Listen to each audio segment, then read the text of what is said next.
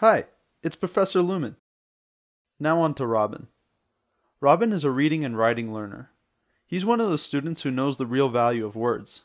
If you already have a pen and a paper in your hands to write down what I'm saying, most likely you're Robin's new teacher.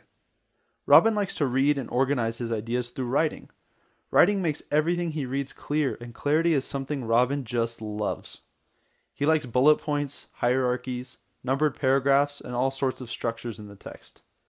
If you would like to make learning easy and exciting for Robin, you could include some lists and categories in your texts. If you can share with him interesting words with definitions, that's great.